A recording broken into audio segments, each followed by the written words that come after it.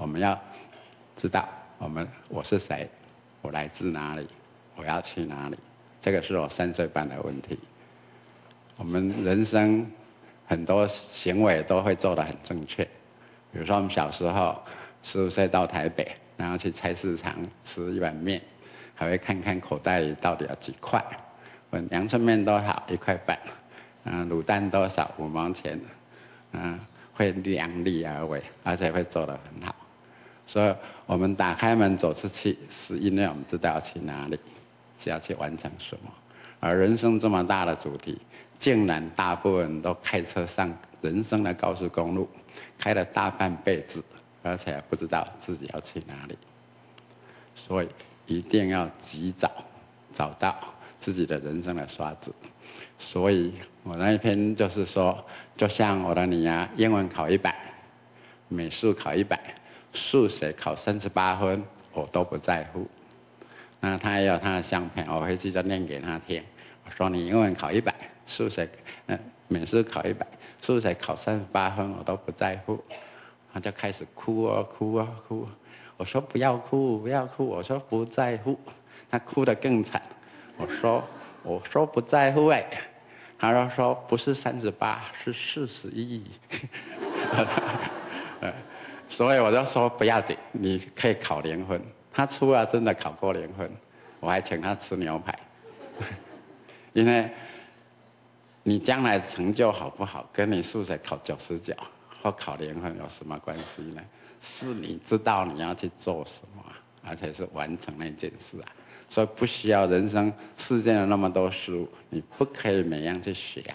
你就是专心一意去学一件事情啊。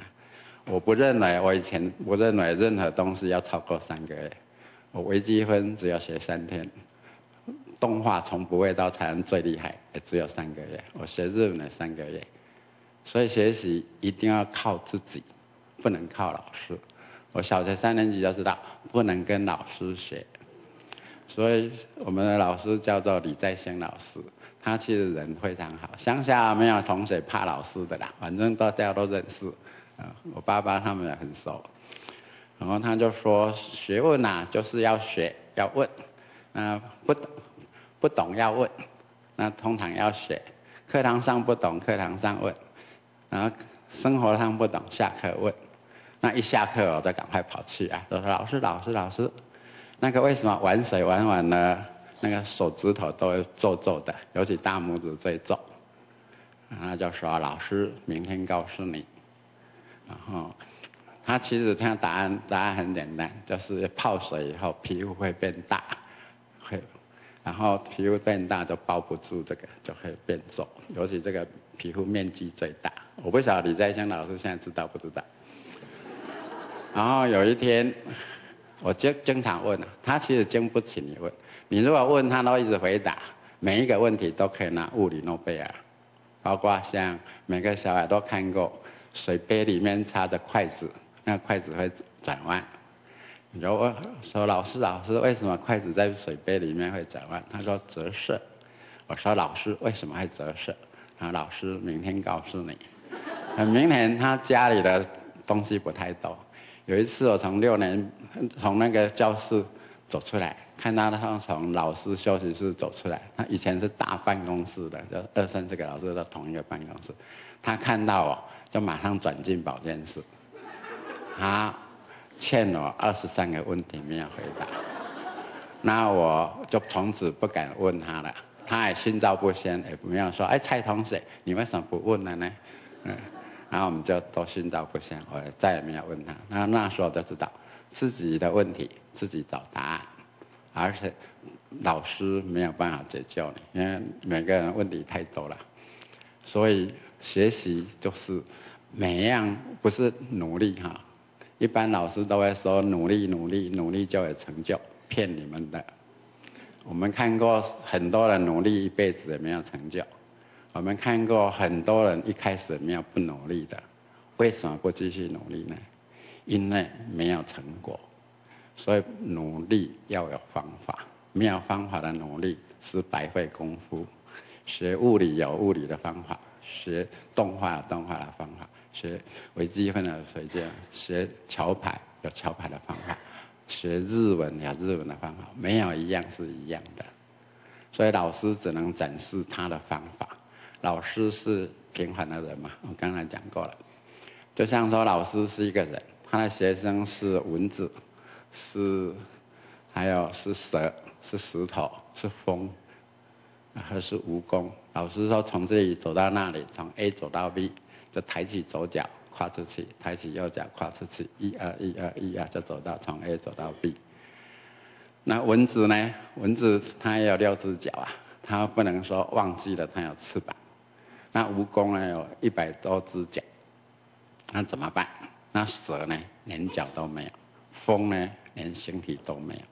所以每个人要找出自己最厉害的，然后去达成老师示范给你看。老师只是展示他的方法，所以这个要及早就想通。没有任何学问需要学两年的啦。我刚才讲三个月是比较极端哈，然后后来我学活水，发现活水要超过三年，所以我学物理就觉得，如果活水要超过三年，那物理肯定三年是一定还不了。那物理花了六年，然后再花了四年把它写成四本书，但是那个也比较难。所以学英文，你把一个小孩弄到温哥华，不要理他。两年后，他讲的英文就像老外，就像一九九零年五月一号移民到温哥华，然后认识了一个尤尤启聪先生，他的女儿叫戴安娜，然后他每一次都打电话，May I speak in Hindi？然后我就说，He、She、She no here。来讲，哎，无伫咧遐，我讲戴安娜，你在吓叔叔啊！我要告诉你爸爸，就是说，一个小孩他生气两年了，他讲了英文。简直就像外国人讲，没有没有任何就，其实是很简单的。我的女儿因为她十二岁才去，所以就变有口音。那有口音，她一生都纠正不回来。就像我在日本出书，然后讲蓝色，然后他派了一个，他们是日本会把作家当成神圣，就非常尊敬。然后旁边坐了一个。替我翻译书的立立教大学教授，他还写了墨子，翻译了墨子，他就坐在旁边这这边，他整个晚上都一直跟我讲中文，啊，我都说是好是，我完全听不懂他在讲什么，他真的是在大学教中文呢，所以我们以前的日教我们英文的老师，他你去看看嘛，他讲给老外听，老外跟他不听不懂他在讲什么。甚至碰到老外，他一定不敢过去，因为他会被学生发现，那个对方老外真的听不懂他在讲什么。所以，我不是看不起老师哈，就是说老师是有极限的。你，你除非你想跟他一样，要不然你一定要有自己的一套，你才可以把那个刷子弄得很厉害。所以结论呢，就是。就是你要使自己成为厉害，就要三把屠龙宝刀。第一把就是思考一切之先；第二个寻找自己的葵花宝典；第三个及早找到人生的那一把刷子。我有很多葵花宝典。你生日几月几号？六月三十，礼拜天。你呢？一啊？五月十一。五月十一，礼拜六。对不对？你看手机呀，我一定不会错的啦，错了再给你们一张画好了。你呢？五月五号礼拜天，对不对？你要看手机就知道。